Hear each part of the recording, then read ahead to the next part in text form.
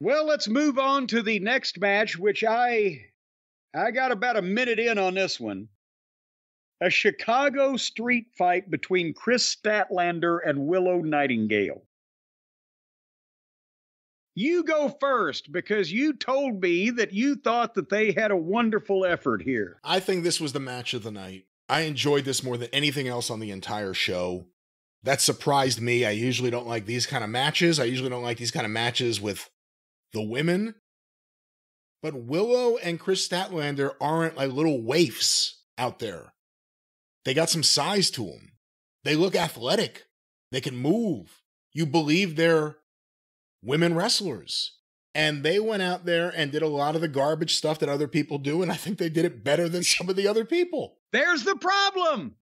You know, I'll put it this way they did a better job, I think, in execution than Swerve and Adam Page doing all that well, crap that, uh, later that's on. faint praise, but I thought this was the best match of the show. The only surprise, I thought Willow probably should have won just because it would have gotten a big pop on a show where the fans were getting more and more deflated as it went on and they would leave ultra deflated.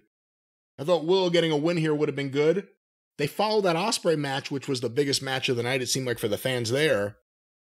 And I thought I thought they did a good job. I really enjoyed it. I was shocked that I enjoyed it as much as I did, but I did. Both girls, girls, I sound like you.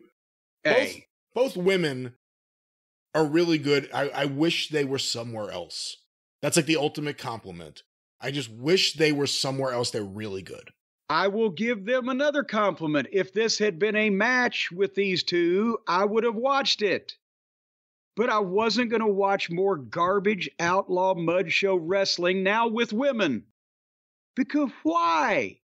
Fucking why on this show with all the other garbage and all the other weapons and tables and chairs and lions and tigers and bears?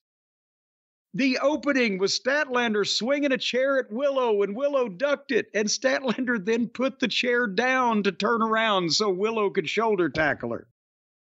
And within the first minute, Willow had been power bombed through the announce desk, and Statlander had pulled a table out. See, they didn't waste any time. I appreciate this. God damn. eh. And uh, again, as I was thinking, uh, I would have watched a regular match with these two, but this is ridiculous.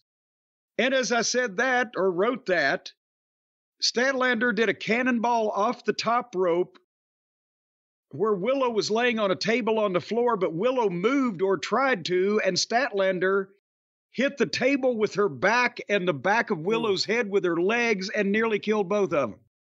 That looked like it was very painful for Statlander's tailbone. And uh, it wasn't, Yes. it wasn't just a cannonball. I mean, it was a flip. And uh, I mean, it could have given Wi- Nightingale a concussion with that speed and velocity. But the point is, yes, they did all this garbage wrestling stuff even better than the guys do. And that's the problem. See what I said before? Is that it depends on who's doing this shit as to whether they should even be doing it or not. And you can't have girl and they're bleeding. Statlander's got color. And here came thumbtacks.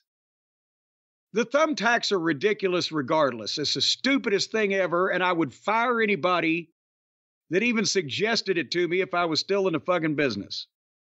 So what kind of fucking morons are you?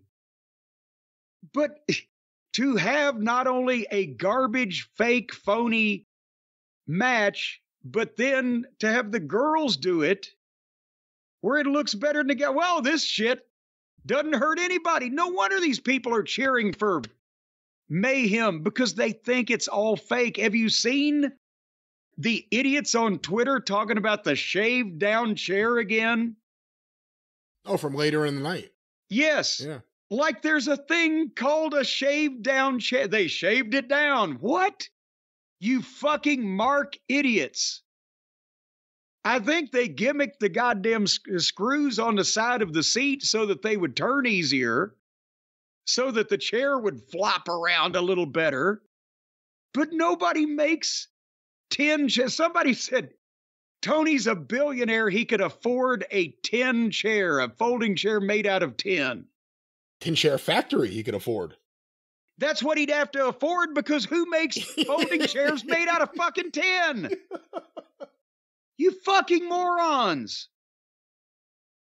So when the girls do this shit and they survive, it's even worse than when the guys do it. And it's garbage and it's overdone and it means nothing and it appeals to the lowest common denominator because when we saw street fights in the territory days, nobody was smart. So, like, yeah, they're having a fucking fight. Now it's like, wait a minute, they are legitimately taking barbed wire or broken light tubes or whatever the fuck they're doing and cutting each other up with it on purpose. They're cooperating with that. What kind of fucking morons are these? That's where we're at these days. Did you see the dive off the stage or the uh, tackle off the stage? I skipped that, thankfully. That was one of the complaints I will make. If you're going to ask the person you're working with, are you okay? There's got to be a better way to disguise it as opposed to just leaning your head up, looking at them and saying, Are you okay? No. It wasn't as overt as that, but I, I watched it and then I watched it again just to make sure. But, you know, they're not used to diving off the stage into the black nothingness that is the weird area that has no explanation for existing. But at least it covers up the fucking crash pad. That's right. Anyway, any further comments on the girls' garbage match? Uh, no, everyone should go out of their way to see it. Best match of the night. Okay, well, there you go.